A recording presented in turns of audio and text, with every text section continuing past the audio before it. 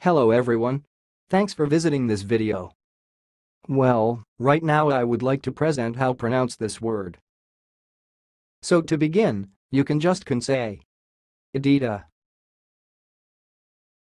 Edita. Okay, let's say it again.